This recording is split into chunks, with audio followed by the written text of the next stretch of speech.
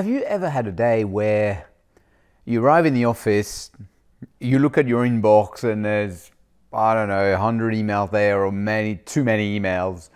Uh, you look at your to do list, and I probably put an S on to do list, and you've got so much to do today. And then you look at your calendar, and the blood drained from your face because you're in meeting all day and you're wondering when am I going to do all this? And the day hasn't even started and you're already stressed, overwhelmed, and knowing it's not going to end very good. Bonjour, this is Cyril from Work Smarter Better. In this video, I want to share three simple tactics which will boost your productivity and your performance.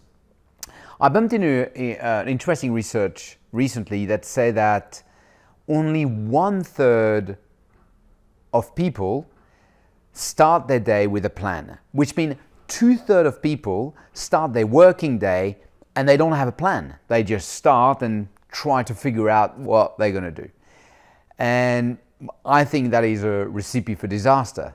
Um, first of all, I can guarantee you will really struggle because you will have always more to do than you have time available. It's a constant here. Um, you are the mercy of the urgency. So the urgent will take over, and the long term priorities, the key thing, the important things, the high impact will be left on the, uh, on the back burner. And you're going to jump from one thing to another one, try to rush the whole day, finish exhausted and probably very frustrated. So I want to I want to share some simple advice here, but I think the the main mindset for me is planning is the real cornerstone of productivity. Planning, I mean, I love the expression if you are um, failing to plan, you're planning to fail. And I think this is so true.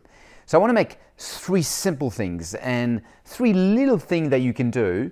And there are little things that can have a big impact. My first advice well, you know my Think Quarterly, Plan Weekly, Act Daily. And so they're the three advice I'm going to do it. But let me, let me uh, share what you can do very simply. Think quarterly. Every quarter, you choose two or three priorities. Not hard.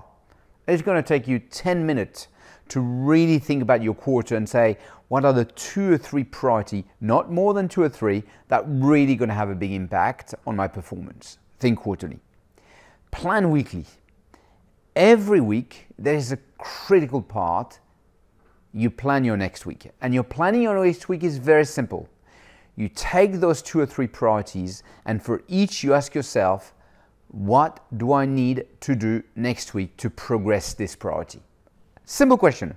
What do I need to do next week to break this priority? And you break uh, to progress this priority. And you break this priority into small tasks and you schedule it in your calendar. Okay? Daily. On a daily basis, I start my day with a quick review of my day. Now, my day has already been organized because I've done my weekly plan and I've blocked specific meeting with myself in my calendar.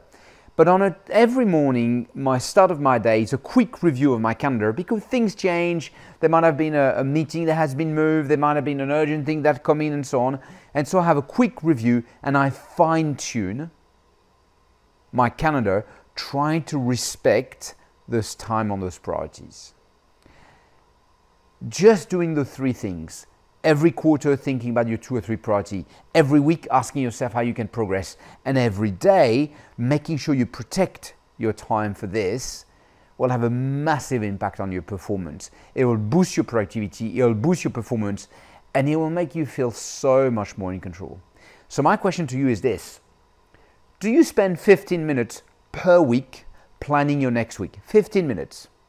Do you spend 5 minutes per day fine tuning your calendar? This is this week Work Smarter, Live Better tip. Hope you have a lovely day.